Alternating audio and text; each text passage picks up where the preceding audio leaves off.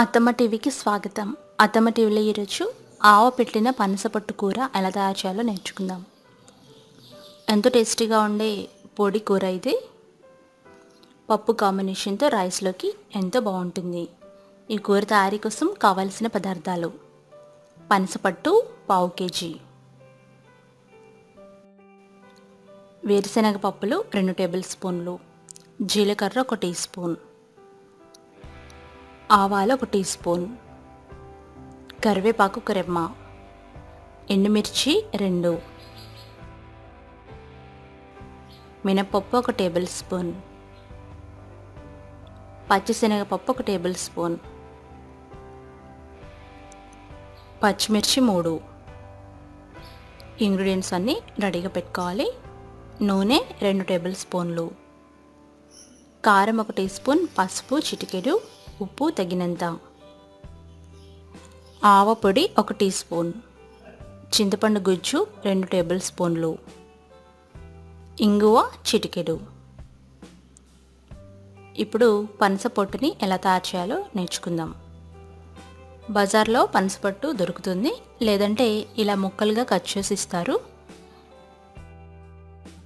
ముక్కలుగా కట్ చేసిన పనసకాయని ఈ విధంగా మనం కట్ చేసుకోవాలి. అంటే బాగా సన్నగా కట్ చేసుకోవాలి.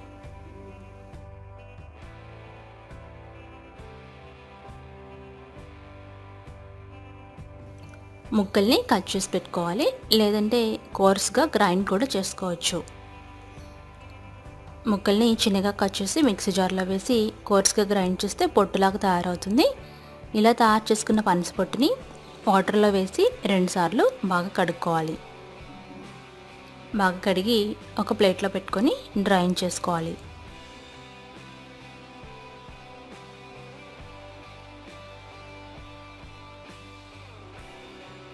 మార్కెట్లో పనసపొట్టు లాగానే అమ్ముతారు కూడా. అది తెచ్చుకున్న డైరెక్ట్గా వండుకోవచ్చు. ఇప్పుడు కొద్దిగా వాటర్ని పొయ్యి మీద పెట్టి బాయిల్ చేసి అందులో కడిగి పెట్టుకున్న పనసపొట్టు వేసి ఉడికించుకోవాలి.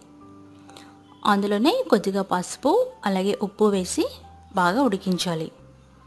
అంటే ఇది హార్డ్గా ఉంటుంది ఇది సాఫ్ట్ అయ్యేంత వరకు ఉడికించాలి. దాదాపు పది నిమిషాల వరకు ఉడికిస్తే ఈ పొట్టు మెత్తగా అవుతుంది. అలా అయినప్పుడు స్టవ్ ఆఫ్ చేసి ఈ పొట్టును మాత్రమే ఫిల్టర్ చేసుకొని పక్కన పెట్టుకోవాలి. ఇప్పుడు ఇది వండుకోవడానికి రెడీగా ఉంది.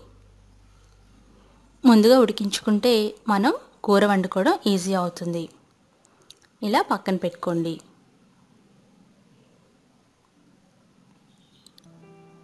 మెత్తబడేంత వరకు ఉడికించాలి. ఇప్పుడు కూర ఎలా వండాలో నేర్చుకుందాం. ముందుగా కడాయిని పొయ్యి మీద పెట్టి కాస్త నూనె వేసి వేడి చేయాలి. నూనె వేడైన తర్వాత ముందుగా వేరుశెనగ పప్పులు వేసుకొని వేయించాలి. వేరుశనగ పప్పులు కాస్త వేగేంత వరకు వెయిట్ చేయాలి. ఈ వేగిని అనుకున్న తర్వాత ఒక్కొక్కటిగా పోపు దినుసులు వేయాలి.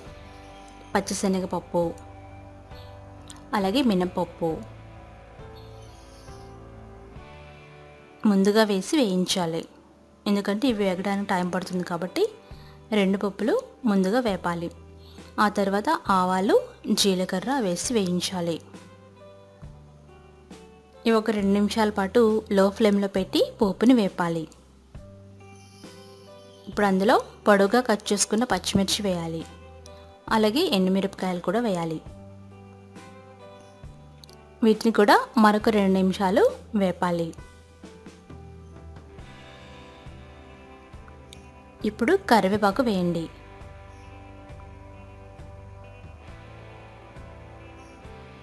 కరివేపాకు కూడా వేసి ఒకటి రెండు నిమిషాల పాటు వేయించాలి.